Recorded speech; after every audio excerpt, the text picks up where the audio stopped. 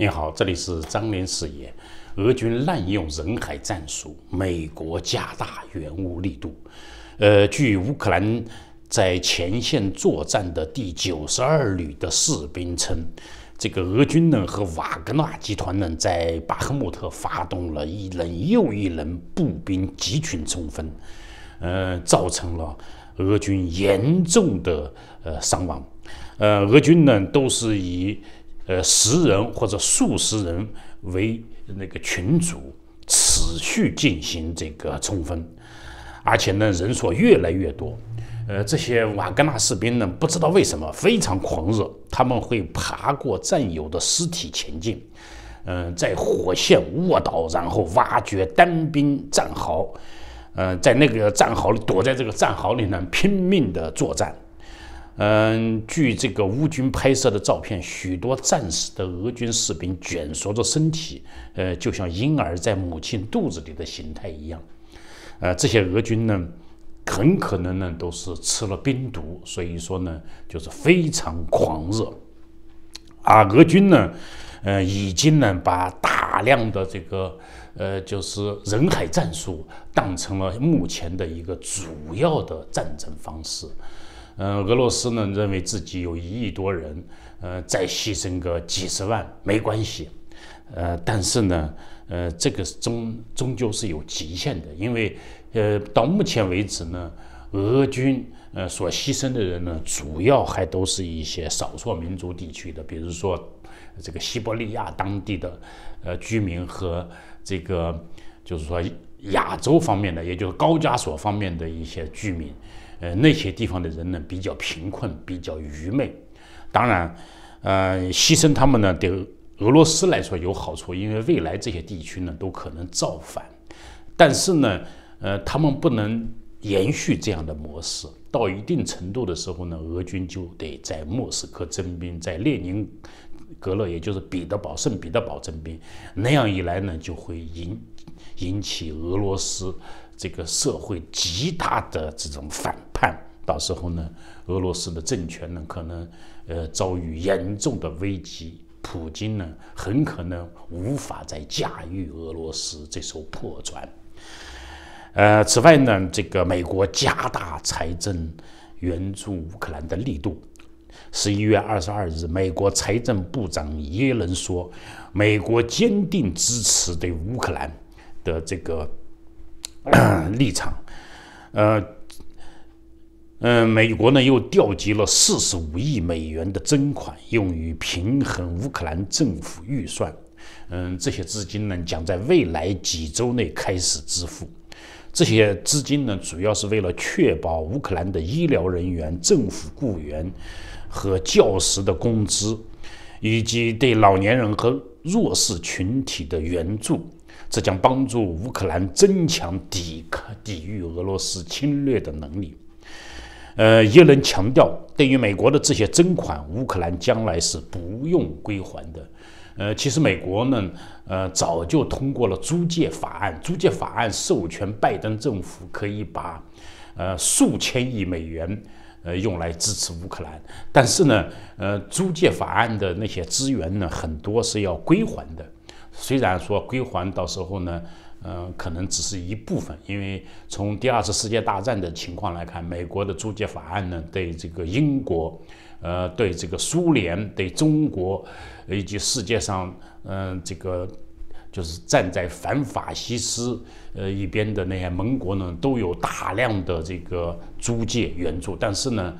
呃，后来大部分也都减免了，真正归还的还是少数。呃，另外呢，今天我看到一篇重要的文章，迫不及待想跟大家分享一下。呃，就是《柳叶刀》，呃，说呢，中国是饮食最危险。大家知道，《柳叶刀》呢是全世界最重要的医疗杂志，呃，它的许多的科研成果都是历经多年完成的。二零一九年四月，《柳叶刀》发表了题为《一百九十五个国家饮食风险对健康的影响》呃的文研究论文。嗯，这个论文呢，论述了从一九九零年到二零一七年里面，呃，大量的统计数据。呃，这份研究呢，对一百九十个国家和地区因为饮食造成的死亡率和疾病，呃，进行了大规模的这个数据收集。呃，他们的研究发现呢，中国因为饮食结构问题而导致的死亡率和疾病发生率，居然排全世界第一。嗯，我以前一再跟大家强调，在过去几千年里，中国人的劳动生产率，呃，始终都是全世界最低的，倒数第一。中国农业技术的水平呢，是全世界倒数第一。呃，这导致了中国的饥荒呢，倒是正数第一，也就是造成的这个，呃，饿死人的情况呢，在全世界都是独一无二的。现在呢，这份研究呢，又，呃。表明了中国的饮食方式所导致的死亡率和疾病发生率也是世界第一，而且呢，现在看来呢，这个呢，嗯，几千年来也都是如此。嗯，比如最颠覆人们认知的结论是，最大的杀手不是人们常常说的西方的垃圾食品，比如说糖啊、脂肪啊这些东西，高糖啊、高脂肪啊等等，而是中国饮食的钠摄入量太高。全谷物量摄入低，以及水果摄入量低。呃，因为中国的饮食呢以米面为主啊，而且呢重盐，喜欢吃咸菜，再加上炒菜的时候放的盐非常多，很少用其他佐料，主要是以盐为主。全谷物摄入量低呢，就是呢都是单调的加工食品，比如说以米为主食，以面为主食啊，那它不是吃呢各种各样的五谷杂粮。呃，还有呢，水果摄入量低呢，呃，也是一个重要原因。因为世界各地的人的水果摄入量这些年持续在增长啊，在中国呢，相对而言还比较低。不过呢，在这里面最重要的呢，还是钠热摄入量。什么是钠摄入量呢？呃，实际上就是钠离子的摄入量。钠离子呢，它包括盐，但是不仅仅不限于盐，呃，它特别有包括了呢这个添加剂。比如说亚硝酸钠或者这个硝酸钠的食物添加剂，嗯，这两种食物添加剂呢，会广泛的用于新鲜及加工的肉类，呃，特别是呢，呃，加工鱼类和鱼制品。我们都知道，呃，在凡是到国外生活的人呢，都都知道这个中国的这个肉类、鱼类的销售呢，跟全世界都不一样的。因为我在印度，在尼泊尔。也好，在美国也好，我看到肉类销售都是在冰柜里面、冰箱里面，呃，只有中国的肉类呢，除了呃像外国的超市是在冰箱里、冰柜里以外呢，中国人大部分购买这个肉类、鱼类呢，都是在街头的摊贩上。嗯，这个中国的这个消费者不知道，嗯，那种肉类、那种鱼类，呃，非常容易变质，而且呢。呃，摊贩呢，为了防止变质，广泛使用亚硝酸钠或者硝酸钠来保鲜。也就是说呢，呃，实际上你在把这些肉类、鱼类买回家之前呢，烹调之前呢，这个肉类、鱼类里面已经加入了太多的亚硝酸钠或者硝酸钠了。所以说呢，这就导致中国人的钠这个摄入量太高。呃，这些这个还有呢，呃，什么像谷氨酸钠，呃，脂油。这个豆汁油，还有这个蚝油、汤精，呃，调味盐、调味酱料，实际上呢，里面也包含着大量的钠。呃，根据世界卫生组织的建议，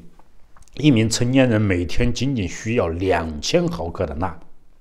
也就是相当于大概一个小的这个茶匙五克的食盐左右的呃钠分量。中国人普遍。呃，对摄入钠的这个量呢是超标的。呃，这个以健康饮食金字塔来说呢，呃，这个钠与脂肪和糖一样，位于金字塔的塔顶，就应该吃最少。就是，所以呢，呃，如果我的各位这个呃这个听众呢，如果想自己健康长寿的话呢，那要尽量的少吃呃这个盐呀，呃以及含有这个呃。亚硝酸钠、硝酸钠或者谷氨酸钠的，就是含钠的这个呃食物呢，也就是调味品呢，要尽量少吃。呃，要减少这个钠的摄入量呢，呃，第一步呢，就是要少吃加工和预制食品，改吃新鲜的农作物或以及肉类。嗯，另外呢，就是选择未经腌制的和没有预先调味的冷冻农作物及肉类。所以说呢，冰箱是保鲜的好办法啊！不要通过传统的保鲜办法。传统的保鲜办法呢，就是里面的钠含量太多。另外呢，在加工食物的时候呢，也尽量少用。呃，这个食盐以及含钠的调味料，而改用香草啊、香料啊，各种各样的。呃，其实现在西方的这个香料是非种类是非常多的。嗯，中国人呢，自古以来呢，营养不良，因为我仔细考察过，中国人在宋朝也好，在明朝也好，他基本上普通的就是百分之八十以上的老百姓在日常生活当中几乎没有蛋白质摄入。嗯，他们嗯，首先没有肉类蛋白，他们吃不上肉。呃，只有有钱人家地主家里面一年也许才能吃上几斤肉。也就是说，中国的即便是地主阶层，嗯，他的营养也不如美国的黑农，他们的蛋白质摄入量大概只相当于美国黑农的十分之一到二十分之一，其他的穷人就不要提了。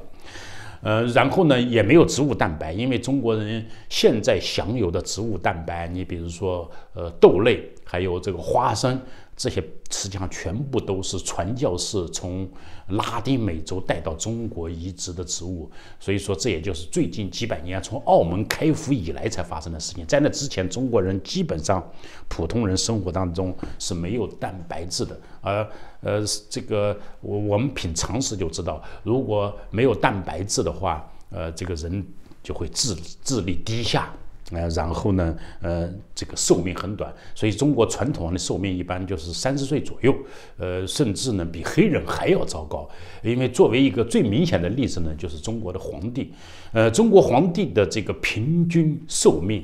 嗯，尽管吃的最好，呃，中医都围绕他一天到晚进行调理，给他弄中国各地最好的这个最有营养的食品来保护他，结果中国皇帝的平均寿命只有四十岁左右。呃，比这个非洲酋长的平均寿命很低，那更是不能跟西方相比。我们都知道，西方的这个呃这个君王贵族的平均寿命呢都是比较长的。呃，另外呢，呃，这几十年呢，呃，因为。中国的几亿农民工给西方干活挣了一些钱，所以中国的这个混得好的有钱人呢就开始大吃大喝，加上这个假冒伪劣的这个食品比例太多，结果呢健康状况也是令人忧虑的。尤其是中国的中老年人肥胖更是普遍现象。我最近才发现，这个呃，中国中老年人的肥胖呢跟中国的传统饮食方式有关，因为全世界呢都是实行分餐制。呃，分餐制呢，它不仅阻止了一桌子吃饭的人十个八个人呢互相交换口水、传染病菌，还能够让每个人定量饮食，也就是确定你自己一餐，呃，应该吃多少。而中式混餐呢，你用筷子那么叨来叨去的，你根本就控制不了食量，因为你都不知道自己吃了多少，呃，应该吃多少。呃，所以而且呢，毕竟的这个那些肥胖的人呢，都是一些胃口极好的家伙。他们不由自主的就会多吃，越吃越多，结果导致呢越来越肥胖，几乎难以控制。呃，另外呢，就是唐山呢又传出丑闻，呃，这个唐山呢这个丑闻呢是牵涉到一个婚前的协议，本来呢两个年轻人自由恋爱，呃，女方呢未婚先孕已经有四个半月了，在谈婚论嫁的时候呢，这个男方呢。呃，就是唐山，比如说类似于陈继志的母亲或者他那一帮子人里面的，呃，男方的家长，一看这个女方怀孕了，急着要结婚，呃，于是呢就要挟女方，啊，就要求签婚前协议，而且这个婚前协议呢极为蛮横。第一规定呢，呃，这个彩礼呢只给九点五万，而一般的现在唐山的彩礼都好几十万，大几十万。就这区区九点五万彩礼，在婚后还必须还给男方家庭，这是第一条。第二条呢，不领结婚证，就是光举行一些那种传统的婚礼，呃，中式婚礼，那个都是从法律上嗯没无效的。第三呢，无共同财产，也就是说呢，双方不买房子，不购置家具，没有共同存款，没有共同的投资，也就是就等于像是瞎混在一起，就跟简直就。这个第三条呢，就是像两个人就像男女朋友一样。第四呢，男方死后婚房归男方父母所有，与女方无关。哦，男方倒是大概有一套房子，但是呢，就是只能住住而已。男方一死，那个房子呢就要还给女方父母所有。这个世界上哪有这样荒诞、荒唐、蛮横的婚婚礼啊？所以唐山人就是那样心地就是那么邪恶。结果呢，终于惹惹恼了这个女孩子，她果断的堕胎，而且呢，堕完胎之后呢，她还把胎儿的尸体呢装这个泡沫箱，她亲自送给男方家庭，呃，说你们要的这个条件呢，我都在纸箱里，你们自己看吧。我的答复，结果呢，男方的家长呢，嗯。打开这个箱子一看呢，是个史泰尔；再一仔细一看呢，是个南方的胎儿，顿时呢嚎啕大哭，顺地打滚。嗯，我看到那个现场的视频呢，旁边的邻居拉都拉不住。呃，据这个网友观察呢，呃，这个这个男方家里面的确是太苛刻。嗯，因为女他们就是求准了女方怀孕四个半月了，不能再难以再嫁别人了，所以呢，就趁机提出各种蛮横的要求。嗯，但是呢。这个结婚不扯证呢，就是更让这个女方她怎么敢生孩子？生了孩子以后不就麻烦了吗？而且呢，这个人呢非常了解唐山，了解中国人。呃，他说呢，这个也是男方的仔细的盘算，就是说，如果出生的是女儿，那么呢，结婚证就永远不打了。呃，女方自己养孩子，呃，男方呢可以另外去找人打结婚证。所以说，这个女方弄了半天，以为结婚的。跟嫁的是一个丈夫，没想到呢自己却成了二奶甚至三奶，嗯，但是呢，如果生的是儿子呢，双方可能正式结婚，呃，而男方之所以悲痛欲绝呢，就是因为发现他们被打掉的是儿子，所以说有网友说呢，每次呃听人说中共的计划生育政策残酷无比的时候呢，他们都忍不住要补充一下，就是说呢。这个中国的普通人家，如果打掉的是女婴的话，那么呢，这个这个中国人的家庭里实际上是充满感激之心的。不能所有人都是，但至少大部分家庭，呃，是嗯巴不能得把这个女婴给打掉的，因为少张嘴吃饭。因为中国传统认为女孩子是赔钱货，呃，就是说呢，中国的男尊女卑现象呢，实际上是全世界最严重的，只体现在生命权方面。呃，如果被打掉的这个胎儿是男婴的话呢，讲老实话呢，这个中国家庭都恨不得把那个打胎的医生护士的祖坟给刨掉，也就是恨之入骨。呃，所以说呢，这里面这个网友分析呢，说超生百分之九十九点九的家庭呢，不是因为想要孩子，而是因为想要儿子，所以这又反映了中国人超生的原因。嗯。这个唐山呢，最近在中国是一个很火的名词。唐山呢，跟徐州一样大名鼎鼎。其实唐山和徐州呢，都是中国传统文化的呃代表性城市。呃，你比如说美国呢。呃，这个加拿大呢被翻译成唐人街，全世界呢都有唐人街。呃，中国人常常以唐人街在世界各地为自豪，而且大部分中国人所理解的唐人街呢，都跟唐山有关，认为这早期呢是唐山人建立的街道。这当然反映出中国人的这个愚昧，普遍的愚昧。因为加拿大，如果你能够翻译成唐人街的话，那么 Japanese town 是不是也应该翻译成唐人街？那越南？越南烫、朝鲜烫，烫呢只是一个就是小镇的意思。China 烫呢就是中国街。那么你其他各个地名的克罗地亚烫或者这个 法兰西烫、France 烫或者 Germany 烫，是不是都可以翻译成唐人街啊？所以说呢。呃，这个这这，而且呢，最主要的呢，是中国的文人呢，反而又把这个唐朝啊、唐人啊，呃，跟这个加拿大这种荒谬的翻译又结合起来，形成了一个概念，所以以至于呢，中国人呢，好像是唐人是很骄傲的，嗯。